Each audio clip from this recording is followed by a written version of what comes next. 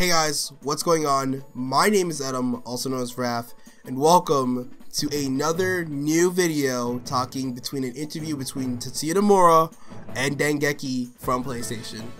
Before we even get into the video, I'd like to thank the KH13 crew for fully translating this from Japanese to English. It must not be very easy for you guys to do it, but thank you guys so much for translating it for everyone in the Kingdom Hearts community. Thank you for all your past translations that you guys have done before as well. We really do appreciate it as Kingdom Hearts fans, and I really appreciate it myself, so thank you guys so much. And you guys, I'm going to read part of the interview, not the whole interview. If you guys want to read the whole interview, go into the link in the description down below, click on the KH13 interview, and you guys can read the whole thing for yourself.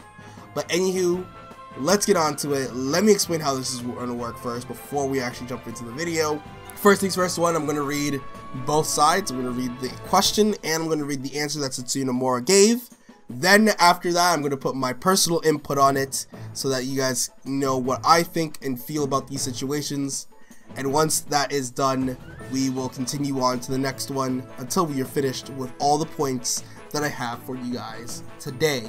So I only picked out the best ones. These are the ones that I found very interesting and I just cannot wait for just, you know, things to actually come out and stuff like that. But anywho, if you guys want to read the whole interview, again, link is in the description down below.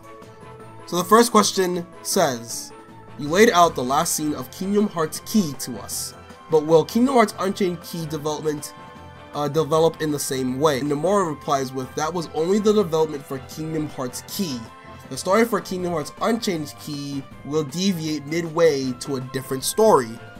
This is interesting because Nomura has certainly said that there is a season 2 for Kingdom Hearts Unchained Key.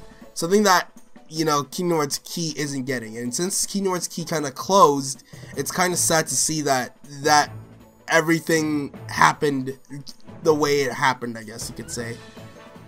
I find it very interesting because Kingdom Hearts Unchained Key and Kingdom Hearts Key is getting a different turn, which, by the way, I think we do see it as of today for the Japanese release because they just got the Cinderella World, I believe. And I don't think that the Japanese version of Kingdom Hearts Unchained Key is caught up to Kingdom Hearts Key. I believe that Kingdom Hearts Key is actually even further than uh, Unchained Key in Japan. So, very interesting. I'd like to see where Nomura takes this. So, I'd like to see where the story deviates. But, you know. Next question is, in the latest trailer for Kingdom Hearts Key back cover, there was a figure wearing a black coat, separate from the five foretellers, but dot dot dot. And Nomura cuts him off and strictly says, We've already revealed in Kingdom Hearts Key that this is a character named Luxu. Since he's wearing that black coat, it seems like a lot of people mistook Luxu for the Master of Masters. But they're two different people. The one holding a dandelion in the package art and in the trailer is the Master of Masters, and the other person wearing a black coat is Luxu. The relationship is more clearly drawn out in Kingdom Hearts Key back cover. I've always had this like strange suspicion and strange feeling that ever since we got the first trailer, the people in the black coats were two different people, but a lot of people in the community kept forcing it and kept struggling, saying that it was the same person. They're both done by the same voice actor and all this stuff. But in all honesty, I really knew deep down inside it was at least two to maybe even three different people in the black coats. But now we have confirmation that it's only two people in the coats.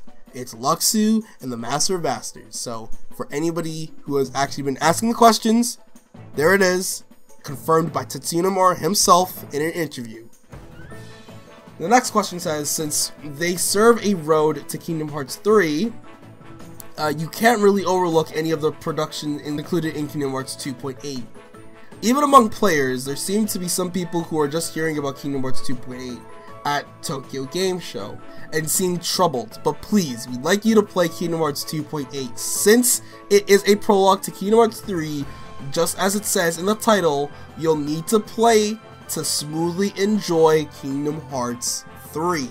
That is a huge thing because a lot of people who are fans or even new people who saw Kingdom Hearts 3 and saw some of the trailers from Square Enix, when they went to E3, I believe a year ago, they that they said to themselves that they just need to play that game. That game is gonna be awesome. Kingdom Hearts 3 looks amazing and it's gonna be awesome.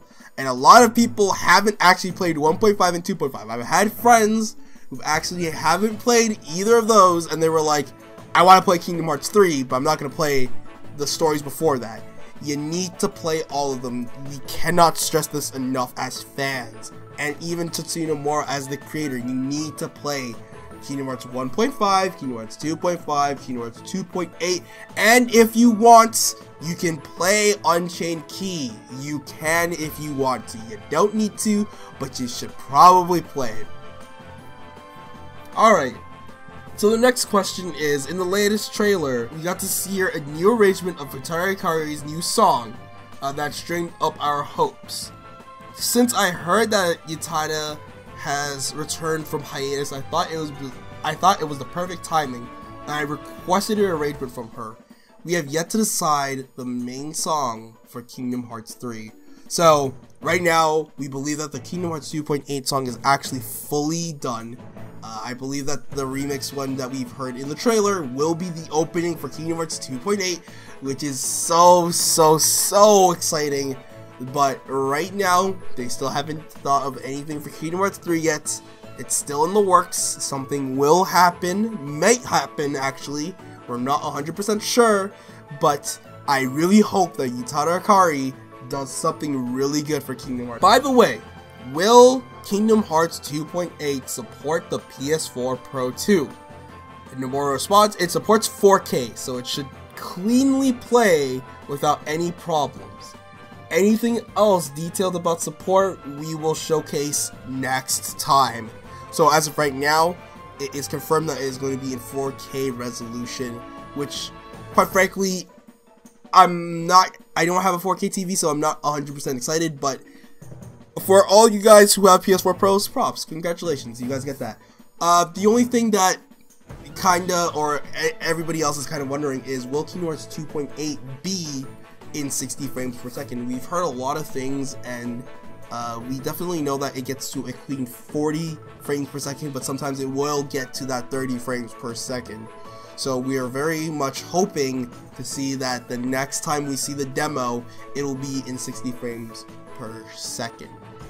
And the last question I have is since 2017 is Kingdom Hearts uh, is Kingdom Hearts 15th anniversary, we're hoping for a lot of developments. Nomura responds with, we are thinking of a lot of plans heading towards the 15th anniversary. Next year's uh, January release of Kingdom Hearts 2.8 will be the start, and from March, the full orchestra world tour will commence. It'll be a year's worth of non-stop Kingdom Hearts news. So we look forward to speaking with you again. Which, wow, that right there, the last sentence right there is mind blowing. It's just mind blowing. Non stop Kingdom Hearts news in 2017. That will be crazy. We already know that there's confirmation that Kingdom Hearts 2.8 after the game will be released we'll be getting more Kingdom Hearts 3 news which is going to be fantastic and I cannot wait to see the Kingdom Hearts 3 news. But now we have bigger and more confirmation that Kingdom Hearts news will be non-stop in 2017. Hopefully Tetsuya Nomura and the crew deliver, hopefully. Uh, we'd like to see a lot more news, such as like a collector's edition for Kingdom Hearts 2.8, a collector's edition for Kingdom Hearts 3. We want to see some progress for Kingdom Hearts 3. We want to see a lot more trailers. We really, really, really want to see it. So you guys, that's the that's it for this video. That's the whole translation. That's all it is. If you guys did like the video, make sure you guys leave a like and comment down below what you guys thought about the interview. What did you guys like about it? What did you not like about it? And make sure you stay subscribed to the Veraph so that you guys definitely understand and get all the Kingdom Hearts news first. I also have some other videos I can definitely watch on my channel. You guys can watch some Smash Bros videos if you want to, or if you are not into that type of thing and you're into anime, you guys can definitely watch some of my anime reviews that I've already done, or my first impressions for certain anime. I'm doing that type of thing right now, so yeah. Anyway, guys, that's it for today. My name is Adam, also known as Raph, and I will see you guys in the next Kingdom Hearts or any other type of video. Peace out.